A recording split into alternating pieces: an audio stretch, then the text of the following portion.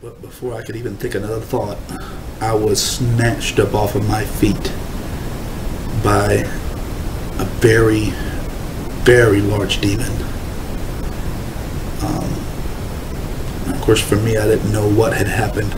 It was like getting hit by a truck uh, and having no clue that it was ever coming. Um, this thing had come up on, come up behind me so fast um, and it caught me by complete surprise and it was so big. Um, I can't possibly begin to describe what it's like being uh, what it feels like to be in the grips of something that big. But I'll, I'll do my best. Um, one minute I'm standing there the next minute I'm leaning backwards like this my feet are out more or less in front of me and they're popping. And I have this pain just shooting from my head to my feet like a bolt of electricity, but it's not stopping. It's like being constantly shocked or electrocuted. Um, and I had this pounding sensation, just hurt hurting pounding sensation coming from my left shoulder that hurts even worse than the, this electricity that's running through my body. And I look to my left and I see these fingers which come down to roughly the bottom of my chest. And it was even hard to look over to the side because the, the depth of its hand was like this. The width of its hand was like this. I mean, it literally went from the side of my neck up to maybe past the end of my shoulder, the width of its hand. All I know is the fingers were very big. Each one was about this big around and uh, roughly about this long. And this thing was crushing my left shoulder. And uh, this thing had a hold of me and I'm looking down at these fingers and I'm just thinking to myself, what is this that has a hold of me? And as I'm thinking this, I understand now, also in retrospect, that anything that you think in this place can be heard as if you had spoken it out loud. And this thing had me like this and was just smiling at me. It looked back and it was smiling at me, waiting for me to look at it. And uh, when I looked over my shoulder and up at it, it was already staring at me. And I understand now that it had heard what I was thinking and just wanted to give me a nice little shock, you know, on top of the pain that I was already experiencing. Um, just because of the grotesqueness uh, of its face. I mean, this thing was grotesque. Um, and it was huge. Um, overall, the thing, and I know this sounds already more crazy than everything that I've already said, but this thing is 13 feet tall, and it's not like I sat there and said, okay, uh, stand still, let me grab a, a step ladder and measure you. Uh, where's my tape measure? You don't know, no. Anything that you want to know in this place, all you have to do is ask it. Ask it in your mind or ask it out loud, and the answer will be given to you. It doesn't matter.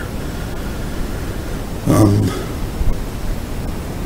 and I thought to myself, how big is this thing? And it, the answer immediately came to me, 13 feet. It was exactly, exactly 13 feet tall. Um, and I didn't ask myself how much it weighed, otherwise I would know that too. All I know is the thing was huge. It was built like Arnold Schwarzenegger in his prime. I mean, just ripped full of muscles. It had no hair whatsoever on its body, none.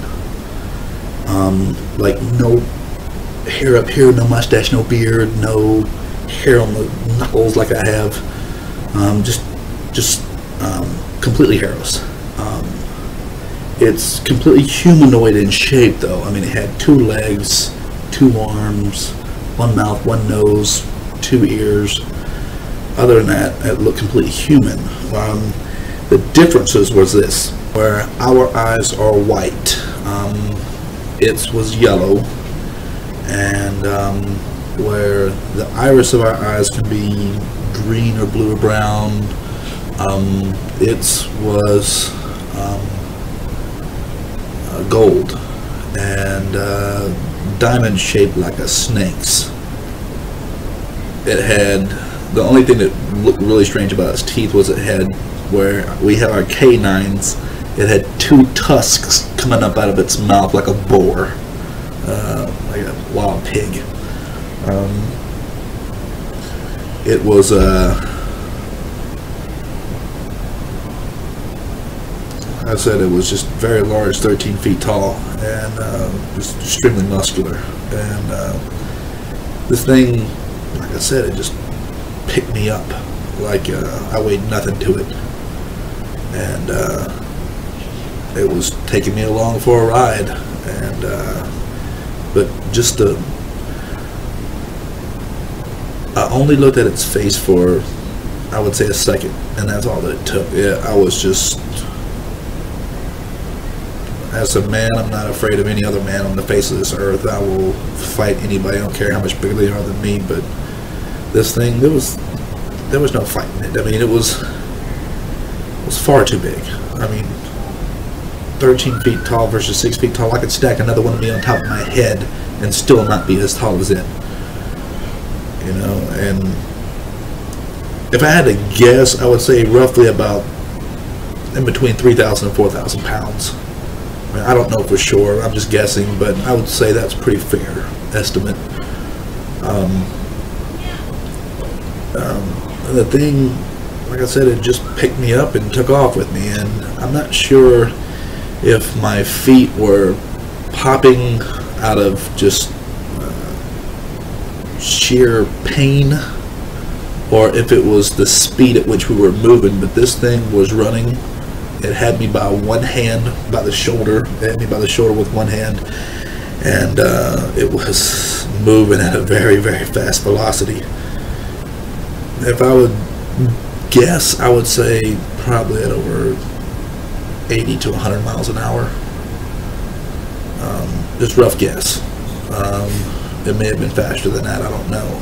But all I know is the thing was moving very, very fast and uh, had complete control. I mean, just um, there was nothing, nothing at all I could do to get away or anything like that. And uh, I looked at its face for only a second, and it was enough to scare me. Um, but anyway, um, this I understood that it was taking me to the portion that I did not, certainly anyone would not want to go to, which was the fire and brimstone portion it was going to take me to that fire lake and cast me in, and I understood that. And when I understood that, it it was mortally appalling. Is the only way I can put it. I mean, I just it played over and over in my head again. It's taking me to hell. It's taking me to hell. It's taking me to hell. And uh, there was just nothing I could do. Nothing I could do to stop it. Nothing I could do to prevent it. And uh, I just kind of dropped my head. A lot of people that used to call themselves Christians are there. And, uh, and it's because they didn't really devote their life to God. They lived one foot in and one foot out like I did, you know. But as I was thinking this to myself, that I'm not such a bad guy, why am I ending up here? That's when that light appeared. And uh, I looked up at it, it looked like a star off, far off in the night sky. Something so tiny and insignificant and far away that it couldn't possibly help me. And then I saw it, it moved off to the left a little bit, and I picked my eyes up, you know, in my head up, and I looked at it, and I thought to myself, did we just change direction, or did it move? You know, and it went back to the right, and uh, I thought for myself, no, for certain, we didn't change direction, it moved, and I thought to myself, well, what is that? And as I thought that, and began to focus in on it, it just came rushing at me like a. The only way I can describe it is the speed of this thing was like a bolt of lightning. It came at me so fast that one moment it was just like a tiny little star in the night sky, and the next minute, white, bright, blinding white light. And his hand was reaching down to me, and it was an angel. Sorry.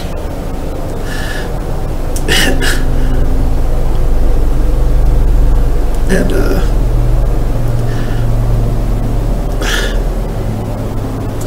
my hand just reached up and grabbed its hand.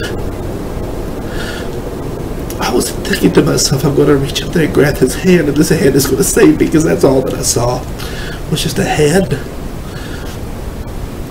But uh, my hand just, my hand knew what to do. It was like having a baseball thrown at your head. Somebody says heads up and you just reach up and grab it. It's a reflex. My hand just reflects. And a reflex just jumped up and grabbed this angel's head. And as soon as I touched its head, we were all three, we were all motionless and all standing back up on this ground that you can't see. And uh, this, this, uh, this beast, this demon, it still had me by the shoulder. It was kind of almost even leaned over a little bit to grab me by the shoulder. And uh, I could, uh, instinctively I knew to stand still because if I had moved, I know that would have ripped my shoulder and my arm off at the same time and just beat me with it. I mean, the thing was just that massively strong. I know, I knew, and I knew within me there was something telling me, don't, don't move, don't move. And, uh, and I'm just standing there staring up, looking at this angel. And the angel itself, to describe it for you, was nine feet six inches tall. It had brown wavy hair pushed to the back. It had an olive color skin. Um, it wasn't really white, wasn't really black. It was somewhere in between, but the light that was emanating from within it was so bright white that it almost practically overshadowed the color of its skin. You couldn't even really, you had to stare to see the color of its of, of its skin. And I keep saying it because it's an it. It's not really a he or a she. Um, although the body is shaped like a he. Okay, it's shaped like a male. When you look at its face, the face is like the most handsome man that you've ever seen, blended in perfectly with the most beautiful woman that you've ever seen. I mean, when you look at this angel, you think to yourself, wow, he is beautiful. And I know that's some odd words to say. In the English uh, vernacular, the, the male is known as handsome and the female is known as beautiful. But uh, this angel was absolutely beautiful. There's no other words for it. And uh, its eyes were uh, blue, and I mean when I mean blue, I mean perfect blue, like like someone took a portion of the sky and put it in its eyes, or dipped a cup out of the ocean and poured it into its eye. There was no flaw in it, no flaw. Um, perfectly beautiful in all ways. Um, other than its face looking like uh, the cross between a man and a woman, and I don't mean like, oh, is it pet? You know, no. I mean just beautiful. Um, it was completely shaped like a man. You could see it's underneath its white robe. It had chest and it had strong arms. Um, it had an Adam's apple. I mean, it was every bit shaped like a man and a strong one. I mean, just strong, but not like overly ridiculous like this. It wasn't bodybuilder. It was more like fitness trainer strong. Um, it wasn't like bodybuilder strong where it just had muscles popping out of everywhere it shouldn't have been, uh, like this demon. Um, but you could tell it was this angel was there to fight, and uh, he had on a white robe. It was cut down in a V in the front uh, with gold lace. I guess I don't even know what to call it, like embroidered gold around the edges of its collar and uh, not lace, but embroidered gold. And uh, the sleeves came just below the elbows, and the, it, this robe was kind of like a white uh, Roman tunic robe. I guess that would be the way, uh, best way of putting it. And it came just below its knees, so its knees and its elbows were covered. Um, and I was just so blown away by the beauty of it, of it that I didn't even really check to see if it had any shoes on or not. I don't really remember. All I know is uh, it was big. Uh, not as quite as big as the demon, but big enough.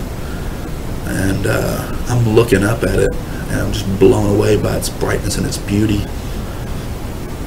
And uh, at the same time, I'm just frozen in place because I know that, that if I move this thing, it's going to rip my shoulder off and just beat me with my arm. And uh, this thing, I can feel its anger, um, this demon's anger, like like heat from a fire. And uh, it turns around like this to see what had stopped it and why. It wanted to know what had stopped it and why. Uh, because technically I was right where I belonged. And uh, once you're there in hell, you, you don't normally get a chance to leave. Um, so it owned me like a piece of furniture, like, like uh, your car. Uh, it owned me. And it wanted to know why it was being stopped. So it turned around and was ready to fight. Make no mistake. Uh, this demon was ready to get down in the worst way. Uh, but it, as it whipped around, this angel just, its speed was incredible. And it just rushed forward and with an open palm hit this demon. And it had to angle its arm upwards uh, at about the height of its head to hit this demon in the chest. And it hit this demon with such power. I mean, I, I can't describe the fierceness of, of the power of this thing. But it hit this demon with such force that its hand was literally ripped from my shoulder. It, it had no clue what had hit it by the time it had even turned its head. It was already hit and this demon uh, was hit with such force that it literally folded up and started flying backwards, folded in half like this, flying backwards. And uh, I'm just watching it fly backwards and skip off this ground that you can't see like a like a stone over water. And um, this angel looked at me and he called me by a long name, and I un- immediately understood it to be mine. It was a heavenly name but as soon as it called me this name, it took it from my mind. It called me this name to let me know that, um, more or less, that I still have a chance to make it into heaven. You know, like I have a heavenly name, I squandered it, I wasted it. And if this had been my ultimate time, my last breath, for real, uh, that's where I would have stayed. But when he called me this long name, it was a feeling of home. It looked at me and it began to speak to me, and its voice was like uh, like a waterfall. If a waterfall could speak, it's like a rushing sound in your ears, like Sean. And uh, I understood later on that it was converting my understanding to understand its language. It didn't descend down to my broken language of English. It elevated me up to understand its language. It messed with my mind, for lack of better words, but it elevated my understanding. And uh, he looks at me and he says, Hello, my name is Michael. and I, I immediately knew that this was the archangel of the Bible that that um, spoke of the, arch, the archangel Michael, and uh, I can tell you for certain. I've seen them both. I've seen the archangel and I've seen Jesus, and they look nothing alike, and they are not the same being. Um,